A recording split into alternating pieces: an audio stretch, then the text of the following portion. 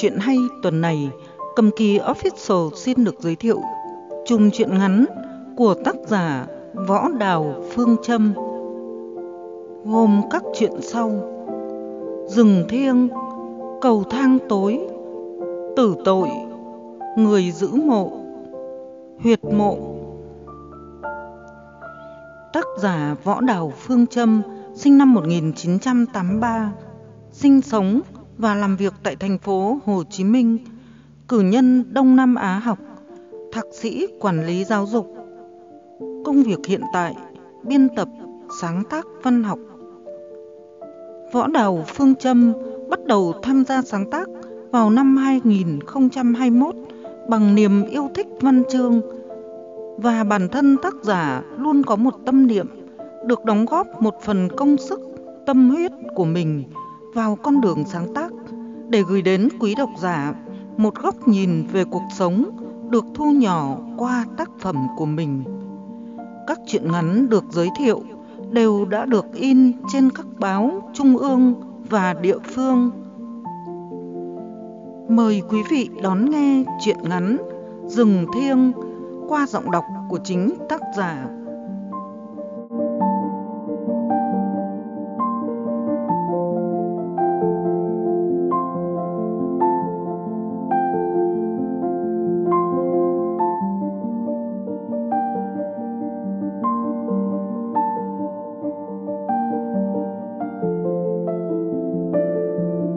truyện ngắn Rừng Thiên Rừng mang linh hồn từ máu và nước mắt. Những lời nguyền kỳ bí, Không ít lần vẫn lên ngôi mộ của những gã ngông nghênh. Hằng sâu ấn tích cho những ai vắt cuộc đời mình bằng nghề lọc gỗ, Mà không hiểu được nguyên tắc từ nơi rừng thiên nước độc.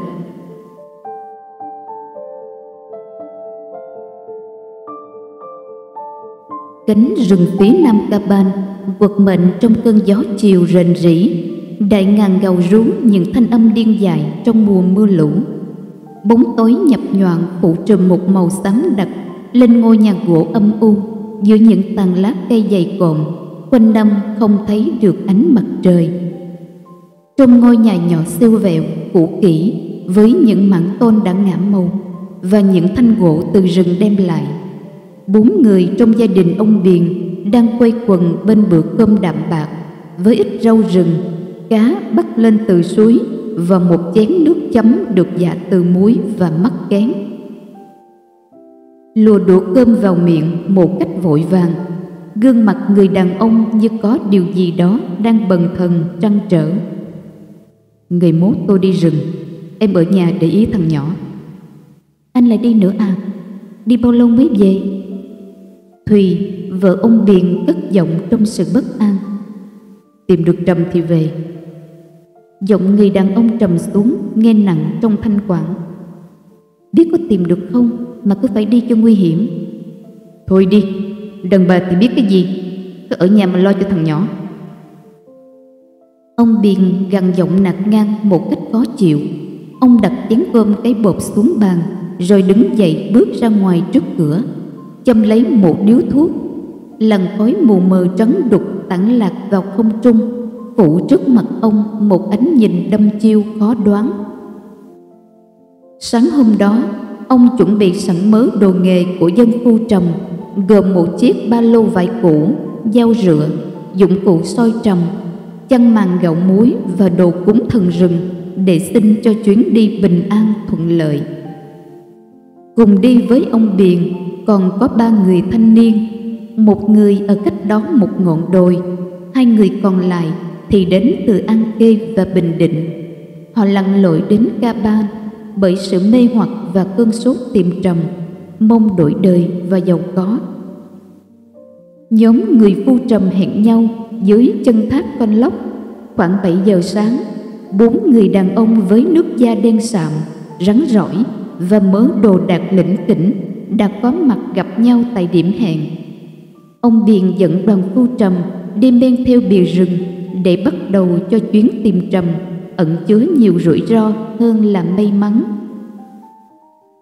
Sau khi lội qua con suối nhỏ từ phía đầu nguồn, ông dừng lại bên một mỏm đá bằng phẳng. Xung quanh tương đối trống trải, ông đặt chiếc ba lô xuống nền đất ẩm ướt, cẩn thận mở chiếc dây rút rồi lấy trong đó những món đồ cúng, bày biện ra một tấm bạc nhỏ đã được chuẩn bị sẵn. Bày đồ cúng ra đây, chứ vô trong rậm rịch, không có chỗ. Vừa nói, ông vừa loay hoay đốt mấy nén nhang trầm, rồi ông lầm nhầm khấn vái trong miệng. Những tàn nhang nhẹ nhàng vương vãi trong gió, thổi qua, đầu nhang bỗng dưng bốc cháy dữ dội, khiến ông biền giật mình. Nhưng bằng sự bình tĩnh và kinh nghiệm người đi rừng lâu năm, ông nhanh nhẹn quạt tắt đốm lửa rồi cắm vào cái cốc nhỏ. Những thân nhang liêu xiêu vì không có gì giữ cho cố định, cứ chực ngã ra ngoài. Lúc này, Thạch, người thanh niên đi cùng, để ý thấy đôi lông mày xếch ngược của ông Biền nhíu lại. Vài giây sau lại giãn ra. Có lẽ ông đang suy nghĩ điều gì từ chuyến đi này. Những khao khát tìm trầm lẫn trong nỗi căng thẳng lành ít dữ nhiều, trộn lẫn vào nhau khiến người đi rừng bao năm dù kỳ cựu cỡ nào cũng không ít lần chột dạ. Mùa này mưa rừng, đi nhiều cũng gian nan cái chẳng chơi. Hổ, người thanh niên đi cùng, ngó nhìn trời rồi chép miệng bằng giọng âu lo. Nghề này mùa nào mà chẳng gian nan. Ông Điền vừa nói, vừa bắt đầu thu dọn mớ đồ đạc sau khi nén nhang đã cháy đến đống lửa cuối cùng. Ông cẩn thận xếp tấm bạc cất gọn vào ba lô và để lại vật cúng lễ cho rừng. Đoàn phu trầm bắt đầu băng rừng vào sâu tận bên trong. Khi con đường dưới chân bắt đầu hẹp dần, thay vào đó là mớ lá cây phủ dày loạt soạt. Ánh sáng mờ dần và tắt hẳn trong sự che phủ từ những tầng cây. Và trời cũng bắt đầu chiều, đoạn đường trước mặt tối đen không còn nhìn rõ. Lúc này, ông Điền lấy ra từ chiếc ba lô một cây đèn pin công suất lớn. Lấy đèn soi, cẩn thận rắn rết dưới chân. Trong nhóm cô trầm có ba người là cũ, còn lại hổ là người mới đi lần đầu nên ông Biền phải nhắc nhở dặn dò. Rừng đêm đen như mực, ngoài dân phu trầm ra chắc không ai dám lặn lội nơi rừng sâu nước thẳm để làm bạn với bóng đêm. Lần mò dưới chân là lớp lá cây khô dày hơn nửa thước đánh cược sinh mạng với rắn rết mưa rừng. Những vật sâu heo hút nơi vách núi hoặc nhẹ lắm là những cú ngã sóng xoài vì vướng phải dây rừng văng ngang chằng chịt như những chiếc dây thừng nằm vắt ngang vắt ngựa khắp lối đi. Tiếng gió rú mang rợ và cái lạnh từ trong lòng rừng ẩm ướt như vây bùa đến tận xương tủy, những ai khỏe mạnh rắn rỏi nhất. Đêm về khuya, nhiệt độ càng giảm dần, sương mù mờ ướt cả mặt đèn pin, tạo thành một màn sáng đục. Ánh sáng phản chiếu lên những cành cây dài lêu nghêu rồi tỏa xuống mớ dây rừng loằng ngoằng tạo thành những hình thù ma quái ghê rợn lấp tràn não bộ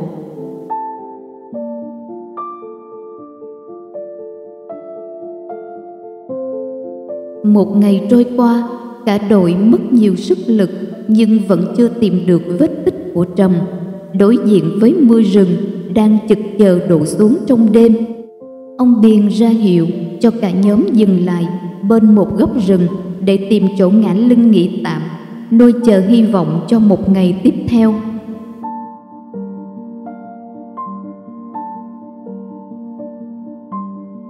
Sang ngày thứ năm, đội phu trầm của ông Biền dù đã đào xới, lật tung nhiều gốc gỗ gió mục ở một cánh rừng nhưng vẫn không thấy trầm hương.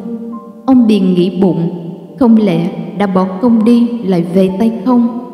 Nghĩ vậy, nhưng cái nghề này may rủi khó lường, không ai dám chắc khi đi sẽ có được trầm.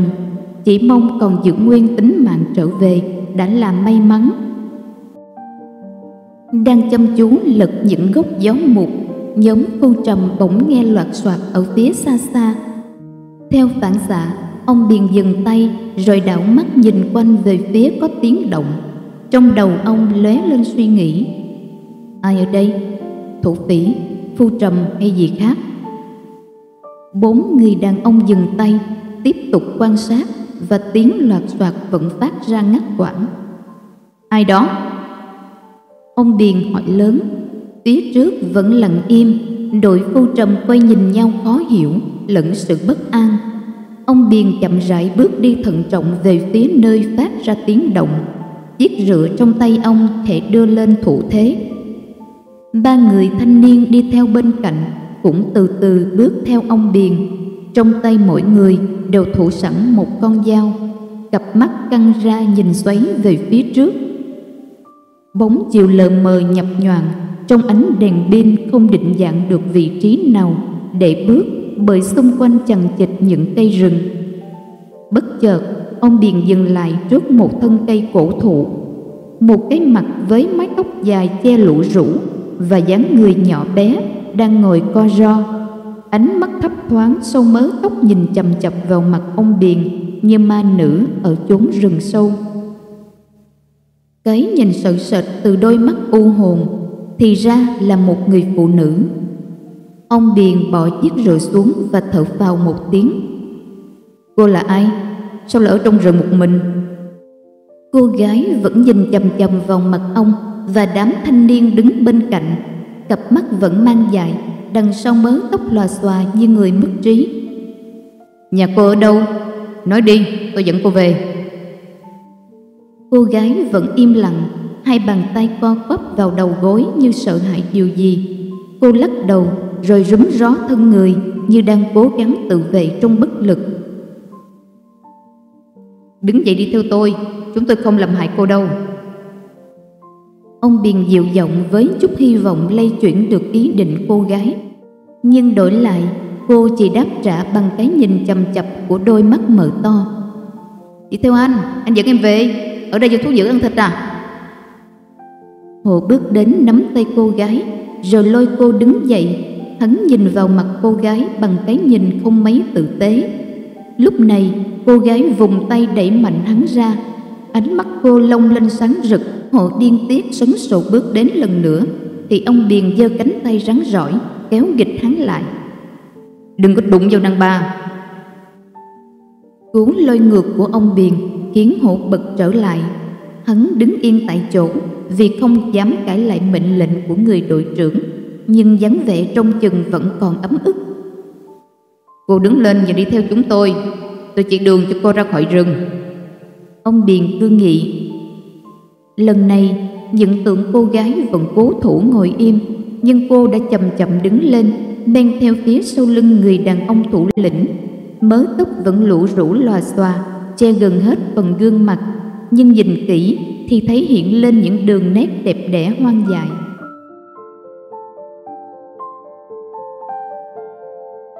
Bóng đêm bắt đầu bao trùm lên cánh rừng vắng lặng. Ngày thứ năm lại trôi qua, đội phu trầm của ông vẫn chưa tìm được dấu vết của trầm. Lương thực bắt đầu vơi dần, sức khỏe bắt đầu trùng xuống. Trong lòng ông biền mông lung xáo trộn một nỗi hoang mang. Ông lưỡng lự phân vân, nên đi tiếp hay là cắt rừng quay về để đưa cô gái ra khỏi cánh rừng một cách an toàn và tránh những xui rủi cho đội tìm trầm vì điều kiên kỵ. Mọi người nằm nghỉ lưng trên tấm bạc ni lông lót tạm ở một mầm đá góc rừng để chờ màn đêm trôi qua và bắt đầu cho một ngày mới với hành trình gian nan của đội phu trầm. Bất chợt ông Biện như phát hiện điều gì đó bất thường, ông quay sang hỏi tự một thanh niên đi cùng. Thằng hổ đâu? Em cũng không biết, chắc nó đi tiểu ở đâu đó. Tự lớn ngớ nhìn quanh khi ông Biện cất tiếng hỏi Lúc này ông Biền đứng bật dậy. Ông lấy vội chiếc đèn pin trong túi, Rồi đi nhanh về phía bìa rừng. Lẫn trong gió, Ông nghe tiếng la hét the thé vang lên. Ông đứng lại để định hướng xem Tiếng la hét đến từ chỗ nào. Sau khi xác định được vị trí, Ông đi nhanh về phía phát ra tiếng thét. Lúc này, ông đột ngột dừng lại, Mắt ông long lên đầy giận dữ khi ánh đèn pin quét qua nơi một gã thanh niên đang dì chặt tay một cô gái xuống đất. Thân hình lực lượng của gã thanh niên đè lên cơ thể mỏng manh của cô gái một cách thô bạo.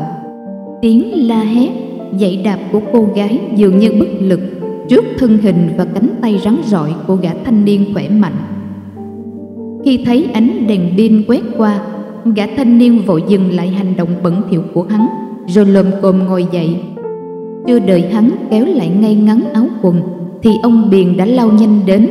Ông túm cổ áo gã thanh niên tên hổ, rồi đấm một cú trời giáng vào mặt hắn, khiến hắn ngã chuối nhụi xuống đất. Thằng khốn, ai cho mày đụng vào đàn bà? Mày muốn chết cả lũ à? Lúc này hộ đưa bàn tay lên xoa miệng và gò má. Một vệt máu dài rỉ ra từ khóe miệng, khiến hắn vừa điên tiết vừa trùng bước đụng vào đồng bà thì có gì mà chết? Anh em đi rừng căng thẳng cũng nên thư giãn chứ anh. Hắn nhếch mép buông lời thách thức và biện hộ. Mày nói nữa tao sẽ giết chết mày đây. Lúc này, hắn nhìn sang cô gái đang lùm cồm ngồi dậy bình mẩy lấm lem bùn đất, tóc tai bết lại từng mảng, trông thật hoang dại thảm thương. Cô đứng dậy, theo tôi về láng ngay. Đi lên phía trước, nhanh! Ông điền quát giọng đầy mệnh lệnh không hiểu sao cô gái mọi lần vẫn cố thủ vô hồn hôm nay lại ngoan ngoãn bước theo ông cái dáng nhỏ bé bê bết bùn đất bước đi loạn choạng trong màn đêm của đại ngàn tự dưng gieo vào lòng ông Điền một cảm giác thương cảm.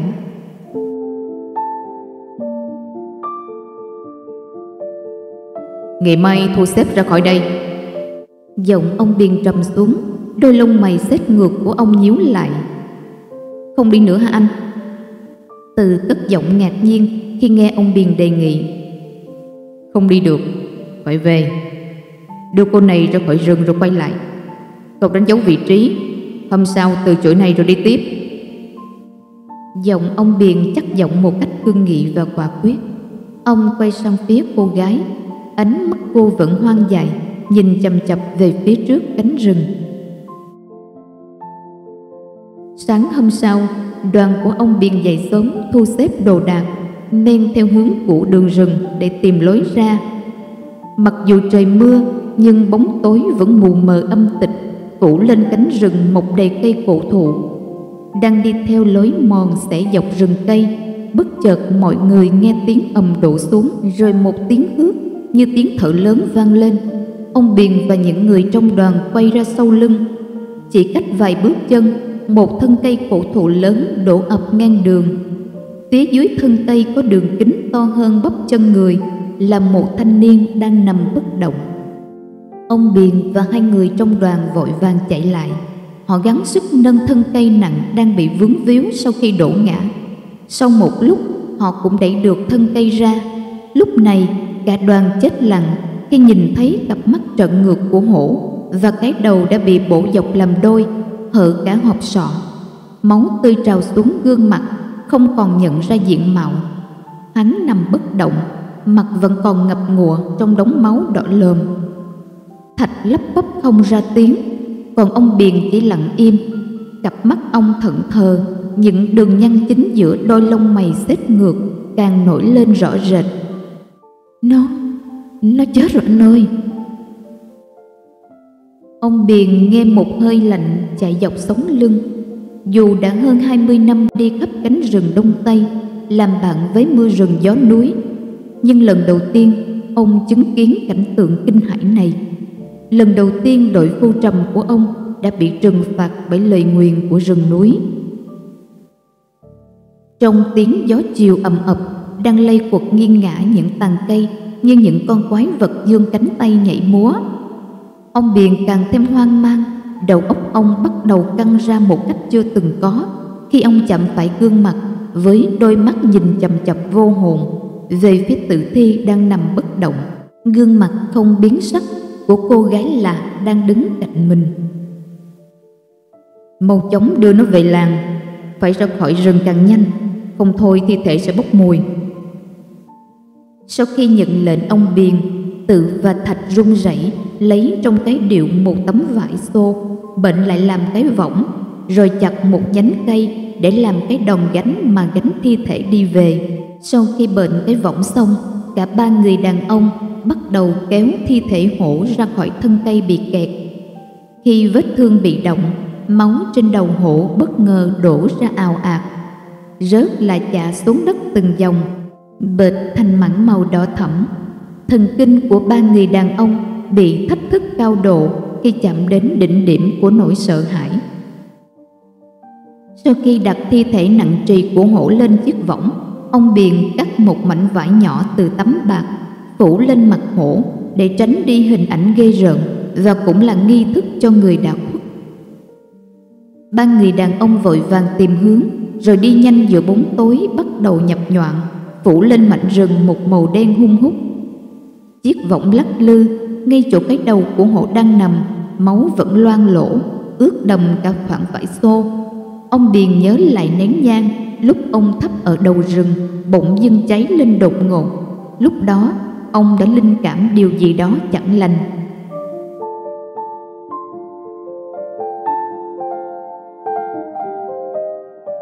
một buổi chiều băng rừng đội của ông điền cũng đã ra khỏi cánh rừng nguyên sinh bạc ngàn đại thụ khi đến buôn người dân thấy đội ông về. Khiêng theo gì đó lạ lùng, nên đổ ra xem. Rồi ai nấy đều bật ngửa. Người thì nhăn mặt lắc đầu, người thì rú lên rồi bỏ chạy. Khi thấy cảnh tượng kinh hãi, không phải là trầm, không phải thú rừng hay gỗ quý, mà là một chiếc võng loang lỗ máu me. Với thi hài một người đàn ông đã bắt đầu bốc mùi khó ngửi. Sau khi đưa thi thể hổ về với gia đình để lo hậu sự ông điền quay lại công việc còn dang dở của mình.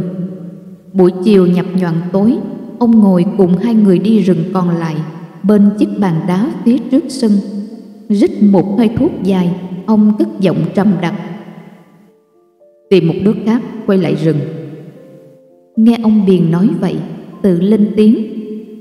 Để em nhắn thằng thao đi cùng, nó cũng mới hỏi và muốn làm phu.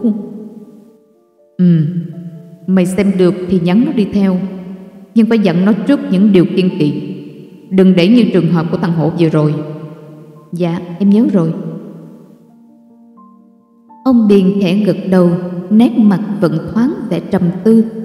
Với nghề phu trầm thì điều kiên kỵ là khi đi lẻ ba người vì người ta nói đó là tam tai hoặc năm người vì người ta gọi là ngũ quỷ.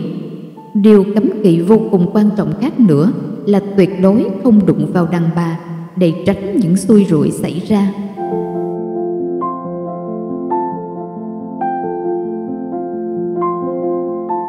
Buổi sáng, khi mặt đất bắt đầu tờ mờ bóng nắng hiếm hoi, le lối lên qua ngôi nhà nhỏ, ông biền thức dậy sớm để chuẩn bị đồ đạc đi rừng trước khi đi, ông châm một điếu thuốc, rít một hơi khói dài để tinh thần tỉnh táo em ở nhà.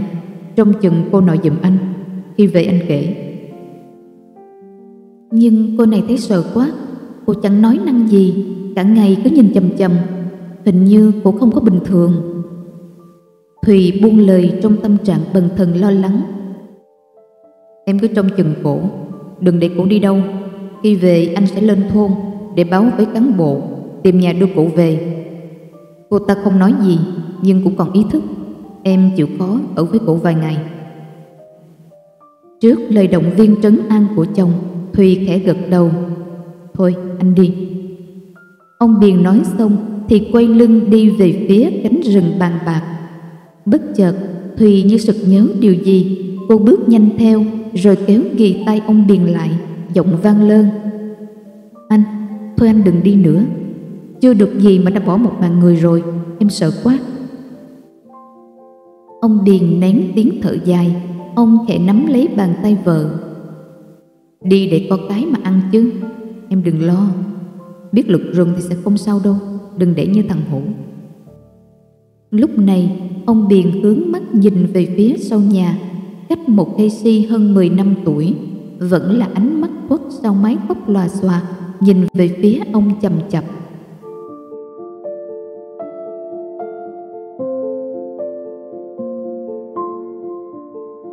Đoàn phu trầm của ông, có thêm một người thanh niên mới tên thao, là người đồng hương của tự.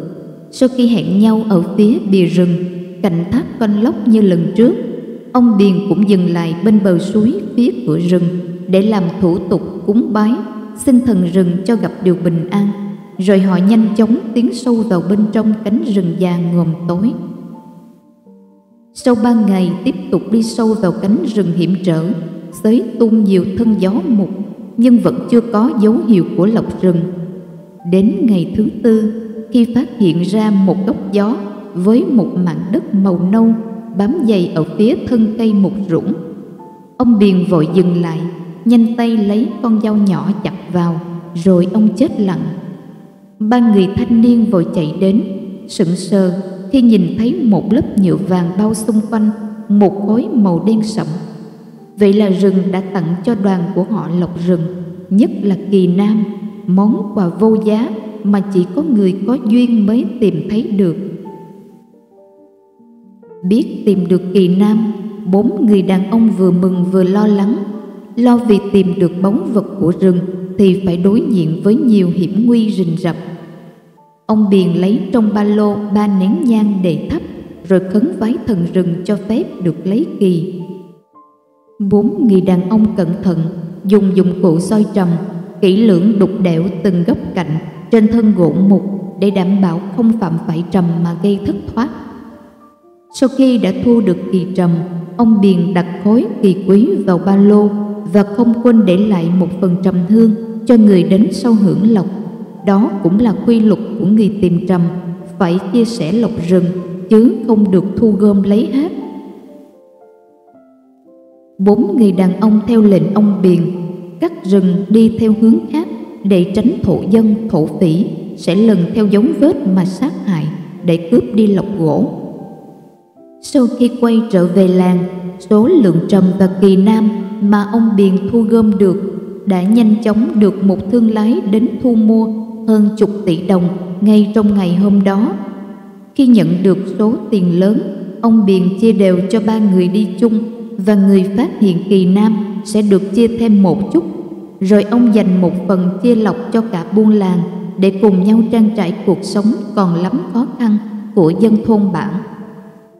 Nhận tiền xong, mọi người bắt xe quay trở về nhà, mang theo niềm hân hoan sung sướng của cuộc đổi đời.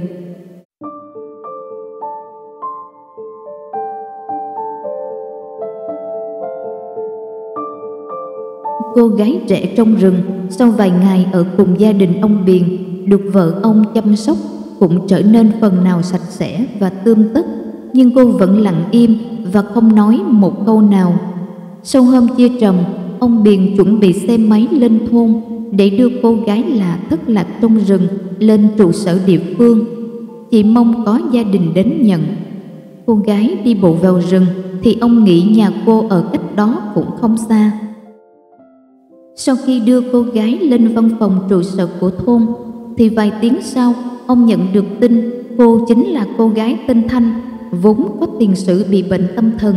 Có lần, vì không kiểm soát được ý thức, cô thoát ra khỏi nhà, đi lang thang, rồi bị một nhóm thanh niên trong bản thay nhau làm hại. Sau lần đó, cô trốn đi mất biệt mấy ngày trời, gia đình tìm mãi không ra đến khi đội phu trầm của ông biền vào rừng mới phát hiện cô đang lẫn sâu trong đó. Ông biền quay trở về nhà sau khi đưa được cô gái về với gia đình. Khi chiếc xe máy của ông vừa quẹo vô cánh cổng bằng gỗ phía trước sân thùy vợ ông đã chạy ra, mặt hớt hải. Anh ơi, cậu thao, người đi tìm chồng với anh hôm qua mất rồi. Sao lại mất? Ông Biền vội dừng chiếc xe máy ngay tại sân nhà, nhanh chân đi vào phía trong chiếc bàn đá, rồi lấy chiếc điện thoại đời cũ gọi cho ai đó, giọng gấp rút căng thẳng. Thằng Thao tại sao lại chết? Bên đầu dây kia có lẽ là tự, vì chỉ có tự mới biết rõ về Thao, vì tự là người dẫn Thao đến với đội phu trầm. Không biết tự nói gì với ông Biền mà thấy mắt ông lông lên sòng sọc giọng nói rít qua kệ răng. Thật là đồ điên. Ông điền ném mạnh chiếc điện thoại của kỹ lên bàn đá nó văng lên không trung rồi bung ra làm hai mảnh.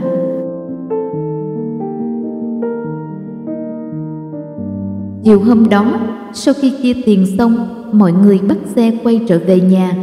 Thao ở huyện Pơ thuộc thị xã An Khê. Khi rời khỏi nhà ông Biền chừng vài cây số, Thao nói với tự là có công chuyện ghé nhà người gì nên đi xe riêng rồi sẽ về sau. Nhưng không ai ngờ, chiều hôm đó, Thao đã âm thầm quay trở lại cánh rừng để lấy hết phần trầm hương mà ông Biền để lại. Vì lần đầu đi điệu trầm mà đã thu được sản vật với số tiền khá lớn, nên Thao nảy lòng tham. Anh ta cho rằng số trầm còn lại bán ra cũng thu về ít nhất vài trăm triệu bạc mà ông Điền bỏ lại thì thật hoang phí. Quay trở lại rừng, Thao nhớ đường mày mại, rồi cứ băng theo lối đã có dấu chân người, dấu xới gỗ mục mà đi đến nơi có cây gỗ gió bị thương. Khi gặp được đúng cây gỗ gió cho trầm, Thao gấp rút thu gom mớ trầm còn sót lại, cho vào túi vải, bụng mừng thầm, miệng lẩm bẩm. Dễ gì mà tìm được trầm hương mà lại đi bỏ lại, lão già này thật ngớ ngẩn. Sau khi thu gom hết những thỏi trầm, Thao vội vác chiếc túi đi nhanh ra khỏi bìa rừng. Nhưng trời về đêm, dù có gan dạ, liều lĩnh hay dày dặn kinh nghiệm đến mấy, cũng không thể dẫn mặt với những rủi ro nguy hiểm nơi chốn rừng già. Khi đang lần mò tìm đường ra thì đột nhiên Thao nghe đau nhói ở cẳng chân. Thao lấy chiếc đèn pin rồi xuống thì lạnh người khi thấy một cái đầu rắn to đùng đang hãm miệng cắn phập vào chân. Cặp mắt rắn đỏ ao phản chiếu như màu máu, lóe lên dưới làn ánh sáng. Con mắt dữ tợn lông lên sòng sọc, trong khi cái thân dài ngoằng của nó vẫn còn nằm sâu trong lớp lá dưới chân. Lúc này, Thao thất kinh hồn vía, hắn vội hất chân thật mạnh để con rắn văng ra, nhưng chiếc hàm sắc nhọn của nó vẫn ngoạm chặt cẳng chân rồi tung cái mình lên khỏi lớp lá quấn mấy vòng lên tận bắp đùi của Thao. Hắn run rẩy tìm lấy con dao trong túi vải, rồi cắm phập vào đầu con rắn. Con rắn to lớn càng dãy lên lồng lộn. Sau trận hỗn chiến, con rắn cũng đã nhả cẳng chân hắn ra, rồi nằm bất động trên đám lá khô. Thao ngồi bệt xuống đất vì hoảng sợ và mệt mỏi, nhưng rồi bản năng sinh tồn đã nhắc gạo phải tìm mọi cách để sống. Chỉ cần ra được khỏi rừng thì cơ hội sống sót sẽ còn. Hắn vội cắt một sợi dây trong tấm vải dù rồi buộc garo ở chỗ vết thương.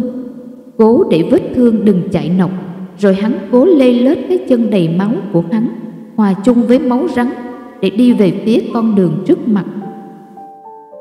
Nhưng con đường trong mắt hắn thật dài, dài đến vô định, đến khi hắn cảm nhận mắt hắn mù mờ nhòe nhoẹt và tim hắn bắt đầu buốt lên những cơn đau cứng làm tê liệt cả vùng ngực.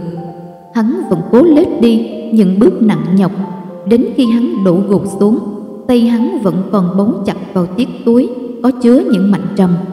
Hắn nghe tim mình đập những nhịp loang lổ và đứt quãng, hơi thở khò khè không dứt ra được khỏi cuốn họng. Hắn lơ mơ trong đầu khi đối diện bờ sinh tử. Hắn nhận ra mình đã bị trừng phạt bởi rừng thiên. Sáng hôm sau, người dân ở dưới chân thác con Lốc ra suối thì phát hiện thi thể một người đàn ông với cẳng chân bê bết máu đã chết cứng từ lúc nào. Cuộc sống dân làng quanh nơi ông Điền sinh sống trở nên đỡ khổ hơn sau chuyến tìm trầm thắng lớn. Nhưng trong vòng hai tháng kể từ khi trầm được mang về, trong làng đã có hai người chết. Người ta nói ăn của rừng thì rưng rưng nước mắt nó đã trở thành quy luật thế mạng kỳ bí mà không ai có thể giải thích vì sao. Nhưng cứ mỗi đợt có trầm về là trong làng lại có ít nhất hai ba người chết. Hôm nay trong làng lại có một đám ma chay của một người đàn bà bị rơi xuống suối. Dân làng quanh quần để lo hậu sự. Trong lúc ông Biền đang ngồi ở bàn trà tiếp khách đến viếng thăm thì một cậu thanh niên trông còn rất trẻ đến ngồi cạnh bàn ông Biền lên tiếng hỏi. Này bác, cháu nghe đồn rừng ở đây thiên lắm phải không bác? Nơi nào cũng có thần Có thần thì sẽ có thiên Ông Biền chậm rãi Giọng ôn tồn trả lời cho cậu thanh niên trẻ. Cháu nghe nói bác là người đi rừng lâu năm Còn cháu thì đi học ở trên thành phố. Cháu nghĩ sống chết có số, Chứ tâm linh thì cháu không tin lắm. Cậu thanh niên văn minh đối đáp bằng giọng điệu của người hiện đại. Ông Điền thôi không nói nữa, Vì chẳng muốn đôi co giải thích với một cậu trẻ đáng tuổi con. Nhưng người đàn ông bên cạnh Cũng là dân làng ở đây Thì lên tiếng. Cậu không đi rừng nên không tin, Chứ có thần rừng đấy Người đi rừng mà không tin là chết. Cậu thanh niên với cặp mắt ra chiều ngờ vực. Ồ, thế hả chú? Ước gì cho được gặp thần rừng nhỉ? Thì cậu có lên rừng sẽ gặp ngay thôi. Giọng ông Biền vẫn ôn tồn chậm rãi Nhưng không có vẻ gì đùa. Đám ta người phụ nữ trong thôn Được hai hôm thì đem đi chôn cất. Nghe đâu chiều nay Có mấy người bên bạn đùm túm nhau đi qua nơi khác Vì sợ dính phải lời nguyền đổi mạng. Ông Điền đang loay hoay dựng lại cháy bếp sau nhà Thì nghe tiếng người thanh niên trẻ hớn hở chạy vào Giọng điệu phấn khích. Bác Điền ra đây xem Cháu lấy được cái gì này? Ông Điền chậm rãi đi lên phía trước sân nhà Thì thấy cậu thanh niên hiện đại hôm trước Ở trong đám tang mà ông đã gặp. Trên tay cậu là một thân gỗ liêm lấy được từ rừng. Đây, đây là gỗ cháu lấy được từ rừng. Vào đó mà chú chẳng gặp được thần rừng nào cả. Chán bắt nhỉ? Cậu thanh niên hôn hôn cánh tay với thanh gỗ liêm chắc khỏe, Gương mặt đắc chí vừa bẩn cợt, vừa hả hê. Thôi, giờ cháu về làm cái ghế để ngồi đọc sách, Hy vọng sẽ thấy được thần rừng. Nói dứt lời, Người thanh niên quay đi. Ông Biền chỉ im lặng nhìn theo cái dáng người cao ráo Của chàng thanh niên trẻ. Rồi cất tiếng thở dài nghe nặng nặng Mưa rừng bắt đầu đổ về nơi bản làng Những chiều âm u trong màn mây vận đục Của khối nước khổng lồ Càng làm cho miền thôn bản trở nên buồn bã và cô tịch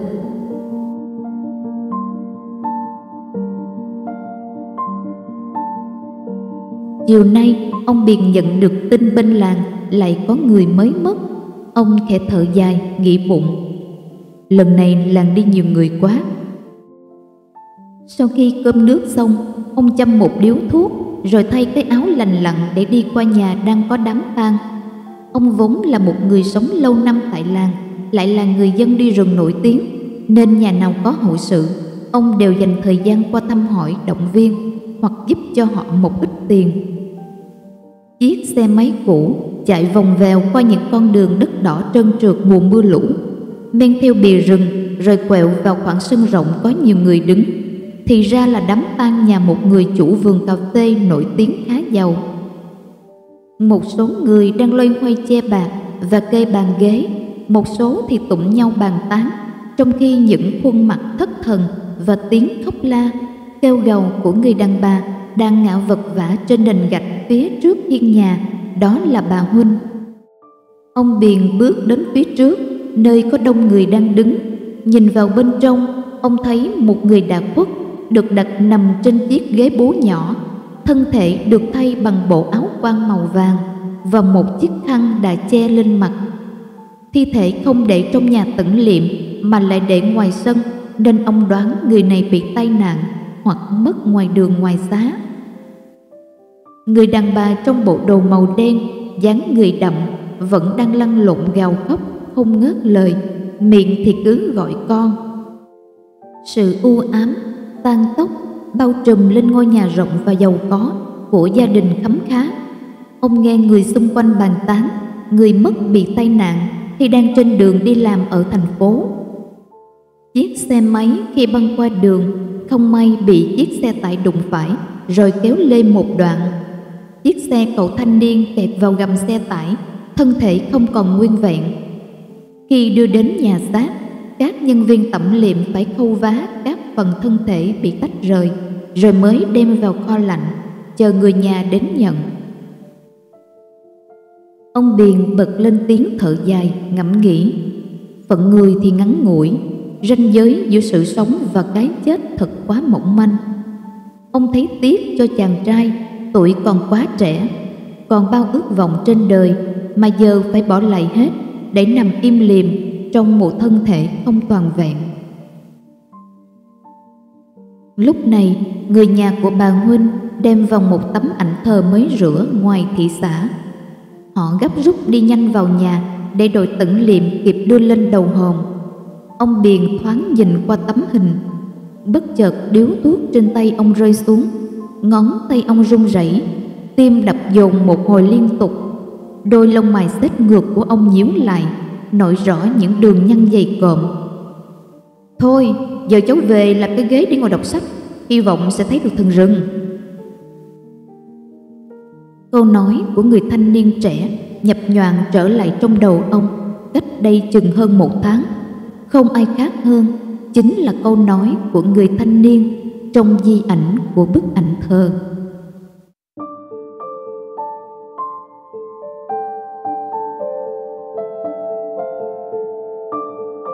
Rừng mênh mông sau lưng ông Điền vẫn nổi gió.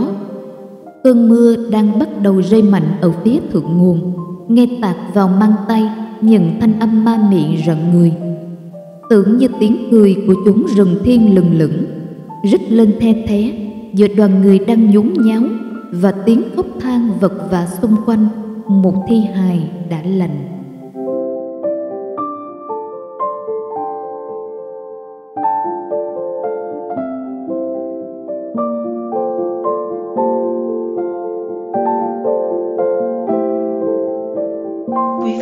Vừa nghe xong chuyện ngắn Rừng Thiêng của tác giả Võ Đào Phương Trâm qua giọng đọc của chính tác giả. Mời quý vị đón nghe chuyện ngắn tiếp theo. Cảm ơn quý vị đã lắng nghe.